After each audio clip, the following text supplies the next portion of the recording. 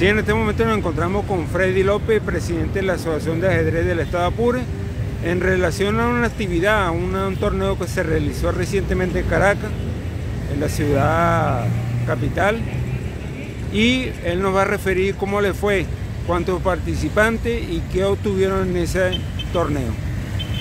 Sí, este, eh, eh, estuvimos en una corrección en el estado Miranda, en el Campeonato Nacional Rápido y Blitz, con tres atletas, una en la categoría máxima y dos en la categoría menores, en la cual allí obtuvimos tres medallas de oro con el atleta en la categoría sub-10, Torre David, obtuvo doble campeonato nacional, campeón nacional rápido y campeón nacional blitz. Y en la otra categoría, el niño de 14 años, eh,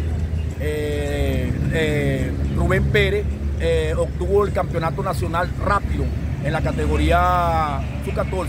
Allí, bueno, obtuvimos tres medallas de las posibles cuatro que íbamos a buscar.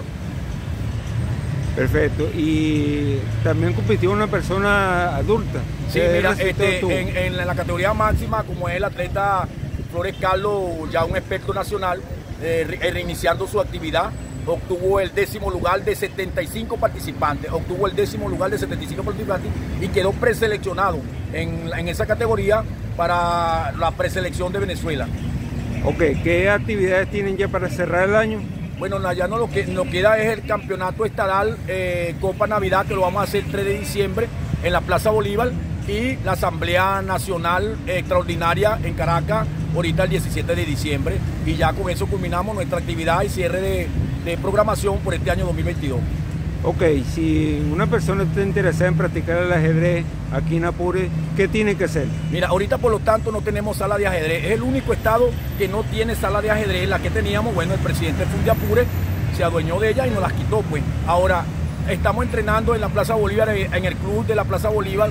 Tenemos otro club que está entrenando también es en el 12 de octubre, ahí en la calle.